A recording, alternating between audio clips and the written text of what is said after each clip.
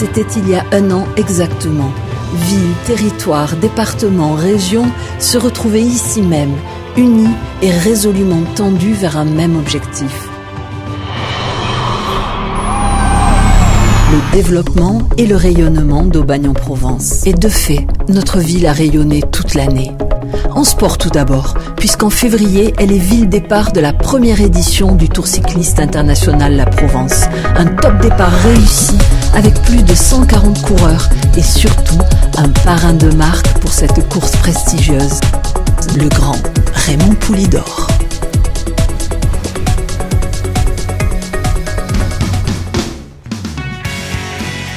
En matière de sécurité et de prévention, l'essai a été transformé et les engagements concrétisés. Jugez plutôt. Inauguration du nouveau centre de supervision urbaine avec 21 caméras installées sur la voie publique et des opérateurs qui visionnent les images 24 heures sur 24 et 7 jours sur 7. Mise en place de voisins vigilants, doublement des effectifs de la police municipale, Aubagne a été retenu par la préfecture et devient ville pilote pour la mise en œuvre d'un dispositif de traçabilité des objets volés. Et pour mieux assumer leur mission et après avoir suivi une formation, les policiers municipaux sont désormais équipés d'armes. 28 février 2016, Aubagne a célébré 1895, année de naissance de Marcel Pagnol. L'espace d'une journée, la ville retrouve l'ambiance du temps des derniers chevriers.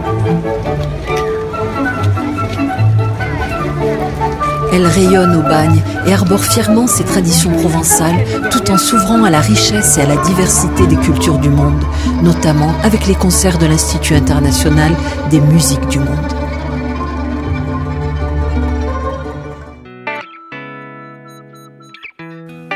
À Aubagne, la culture est reine.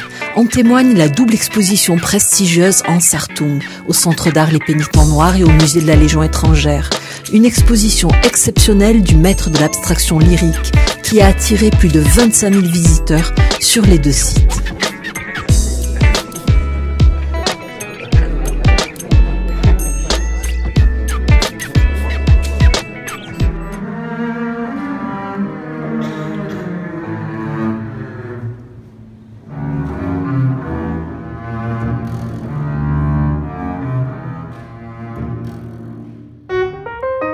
FIFA, Festival international du film d'Aubagne, nous a proposé cette année encore de belles rencontres et a mis à l'honneur la jeune création cinématographique et la relation magique entre son, musique et image.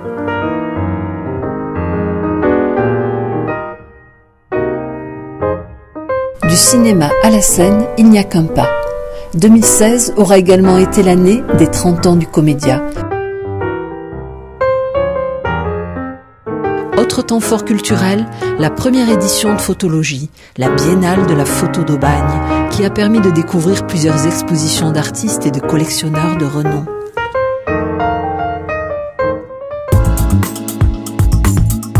L'atout d'Aubagne, c'est aussi sa jeunesse, et au printemps, elle s'est mise en mouvement. Forum pour décrocher un job d'été ou encore volontariat, les jeunes aubagniers ne manquent pas de dynamisme.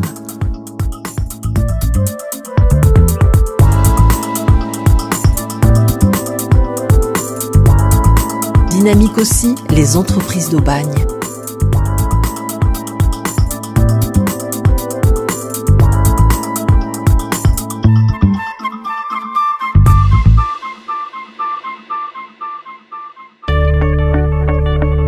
Et à cet égard, les trophées des entrepreneurs positifs du pays d'Aubagne et de l'Étoile sont toujours un temps fort. Parmi les récompensés cette année, Sim Airways a décroché le prix Innovation avec son simulateur de vol au service du management d'entreprise.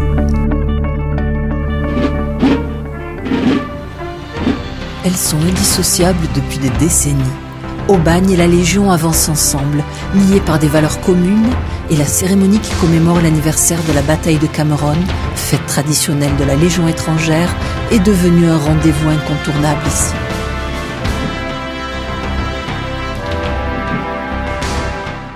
Autre moment solennel, la prise de commandement du commandant Pascal Reynaud, désormais à la tête du centre de secours principal.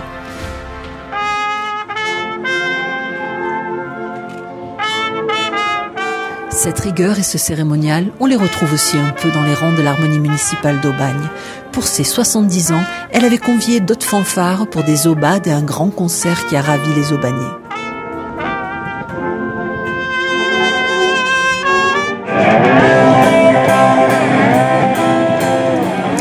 Nous ont fait rêver et vibrer avec leurs gros cubes. Ce sont les bikers du monde.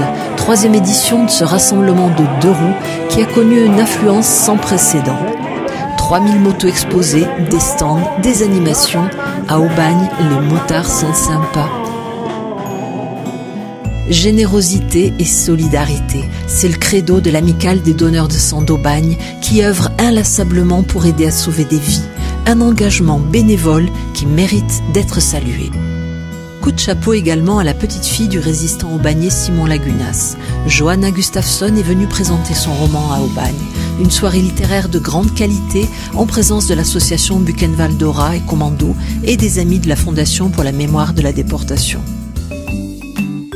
À Aubagne, la fête des voisins est toujours un moment de grande convivialité, si bien que notre ville s'est vue remettre un mois plus tard le label européen Ville conviviale, Ville solidaire par Athanas Périfan, le créateur de la fête des voisins et président des voisins solidaires. Cette célébration du vivre ensemble s'exprime aussi à l'occasion de l'art des possibles, une exposition d'œuvres d'artistes handicapés qui est aussi un grand moment d'échange et de partage avec le public.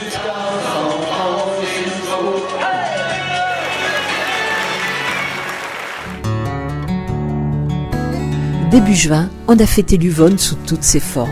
Plusieurs associations, dont celle du collectif Uvonne, ont investi l'îlot des Berges et proposé aux enfants des écoles animations, ateliers ludiques, expositions et balades autour de la connaissance du fleuve, de l'eau, de la faune et de la flore.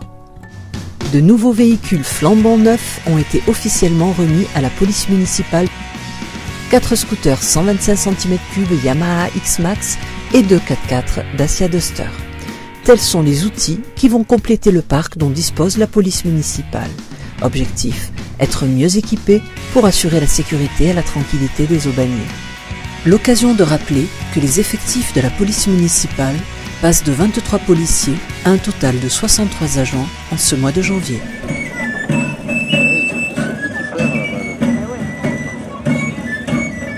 L'été arrive, les premières cigales se sont fait entendre dans l'épinède. Coiffe de dentelle, jupe matelassée, fichu et caraco, tailleul sont de sortie pour fêter le solstice d'été. Et les feux de la Saint-Jean ont illuminé la nuit étoilée d'Aubagne. Au son du galoubet et du tambourin, on a joyeusement sauté au-dessus du brasier.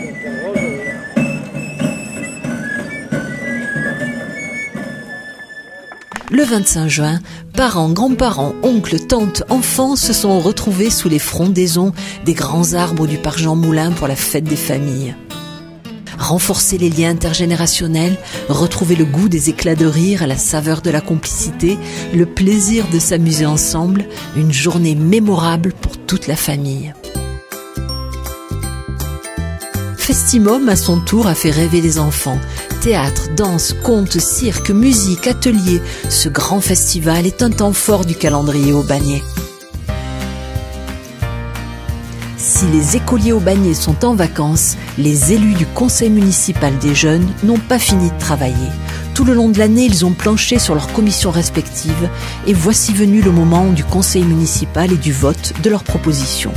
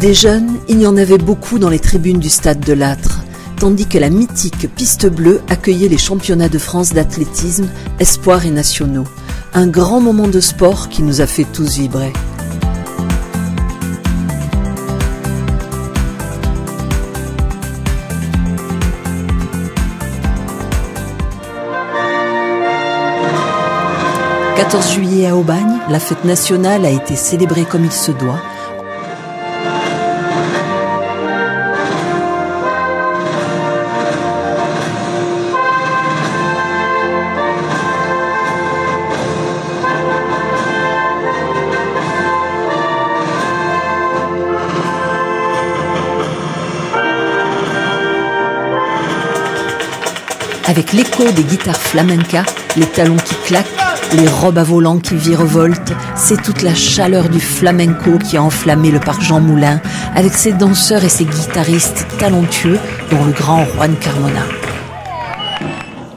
Du 23 juillet au 28 août, découverte des créations et de la production des artisans de notre territoire. Fin août, la grande cavalcade a convergé sur la ville. Avec ses corsos multicolores, ses attelages traditionnels, son défilé de chars magnifiquement décorés. Parfum de rentrée à Aubagne pour les écoliers, les collégiens, les lycéens ou encore les étudiants en STAPS et du SATIS. Jumelage. On accueille les élèves d'Argentona. Restauration scolaire. Les travaux au sein des écoles sont terminés et permettent aux petits aubaniers de prendre leur repas dans les meilleures conditions possibles.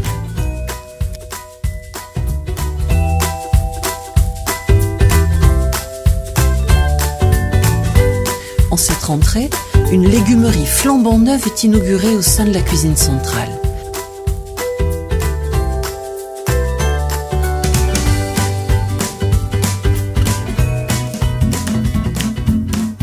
Les associations font aussi leur entrée. Et c'est toute la diversité et la richesse du tissu associatif au Bagné qui est présenté le 4 septembre lors de cette fête des associations qui présente cette année plus de 200 stands.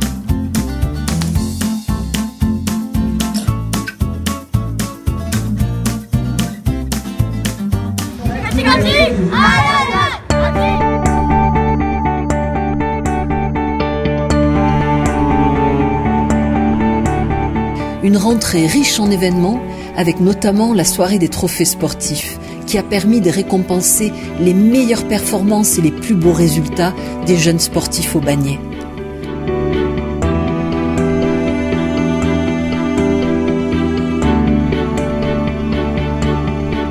Une soirée à l'image de la très large palette des disciplines sportives pratiquées à Aubagne tout au long de l'année.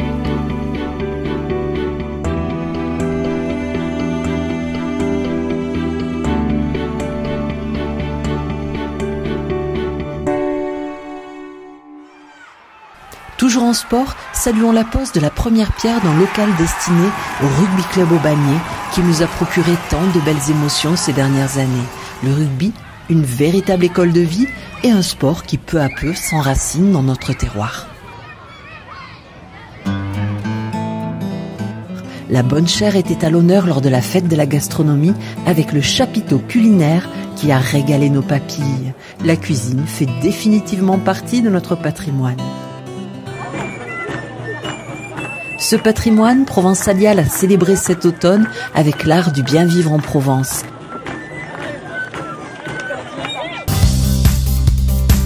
Objectif propreté avec la mise en place d'une nouvelle organisation du service de propreté urbaine. Le but étant d'optimiser le travail effectué par les équipes municipales, la fréquence de leur passage et les moyens mis à leur disposition.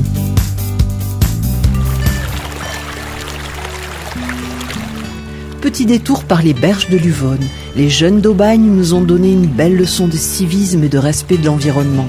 Une journée durant, les lycéens de Jolieu-Curie ont patiemment nettoyé les berges de l'Uvonne en ramassant papier gras et détritus. Au final, une demi-benne de déchets a été récoltée.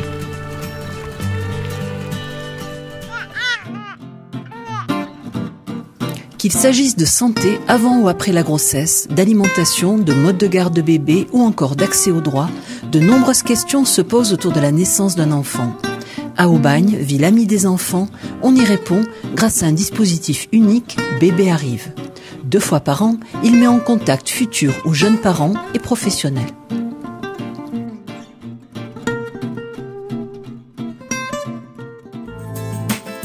De santé, mais aussi de handicap et de sport adapté, il en a été question à l'occasion des troisièmes assises de la santé du territoire au Bagné. Moment de rire, d'émotion et de partage lors de la journée intergénérationnelle qui a rassemblé enfants et seniors dans le cadre de la Semaine Bleue. Cette année, ils étaient une centaine de pitchounets des centres de loisirs à partager un après-midi chaleureux de divertissement et de jeux de société avec plus de 150 seniors.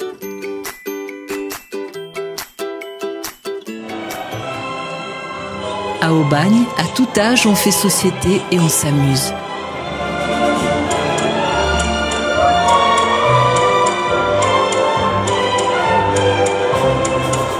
Regardez ces danseurs fringants et souriants qui se retrouvent une fois par mois pour virevolter sur la piste pour le rituel bal des seniors.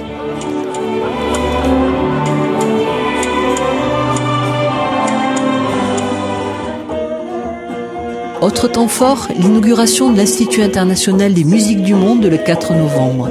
Cet établissement unique permettra d'enseigner les musiques du monde grâce à des professeurs et des artistes de renom venus du monde entier.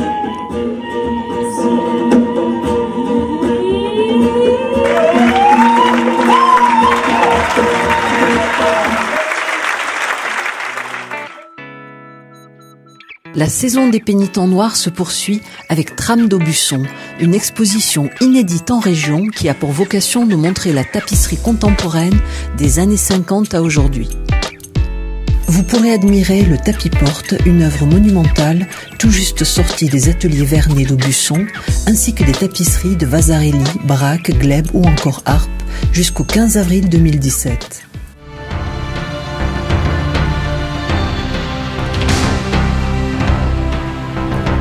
Hommage solennel à l'occasion du 98e anniversaire de l'armistice de la Première Guerre mondiale. Là encore, les élus du conseil municipal des jeunes étaient présents, recueillis et très dignes. On se souvient à Aubagne, mais on regarde aussi vers l'avenir et on avance. En témoigne le contrat départemental de développement et d'aménagement signé entre Martine Vassal, présidente du conseil départemental, et la ville. Objectif Aubagne-en-Provence, un projet d'aménagement du centre-ville qui a pour ambition la renaissance du centre et qui va concerner tout à la fois le patrimoine, l'économie, l'habitat, l'espace public et la mobilité. Inauguration du nouveau Médiabus, l'occasion de rappeler que lors de sa première participation au label Ville Internet, Aubagne s'est vu remettre deux arrobas, une labellisation qui scelle les ambitions numériques de notre ville. C'est également en famille que les amoureux du livre jeunesse sont venus de toute la région PACA arpenter les allées du salon Sherazade pour Grain de sel, le festival du livre et de la parole d'enfant. Des milliers de livres, des contes, des spectacles, des rencontres avec les auteurs, des batailles de dessin, un pur moment de poésie et de rêve.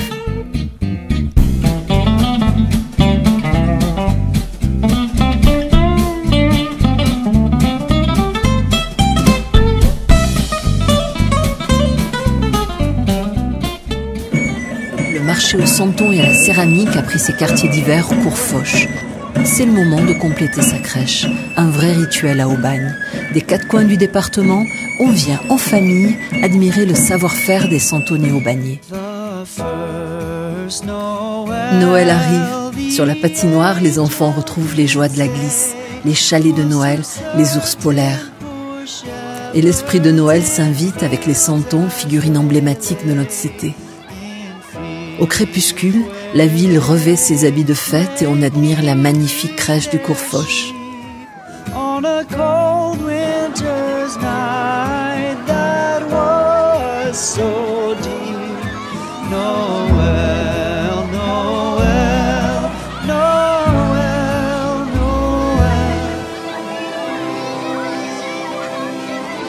Puis la magie s'empare de la ville avec la parade féerique licorne enchantée dans sa bulle translucide, elfe aux ailes irisées et gainées de lumière,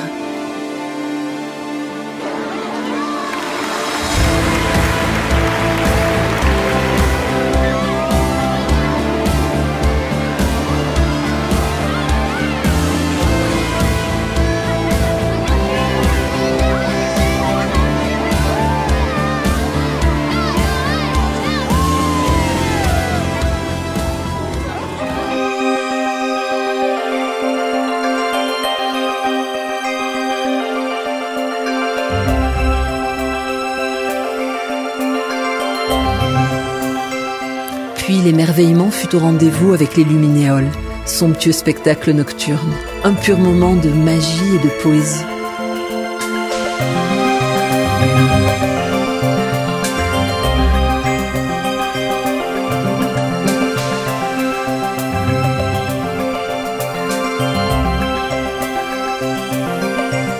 C'est sur cette page onirique, ces merveilleux spectacles son et lumière, le livre de l'année 2016 s'est doucement refermé. Dans un contexte national et international qui demeure incertain, tous ces événements, toutes ces festivités ont pu se dérouler dans une ambiance sécurisée, apaisée.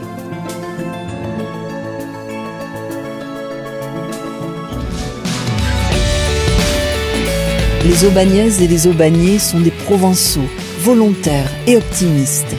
Fort de cet enthousiasme intact, nous nous apprêtons en 2017 à ouvrir ensemble une nouvelle page de l'histoire d'Aubagne en Provence.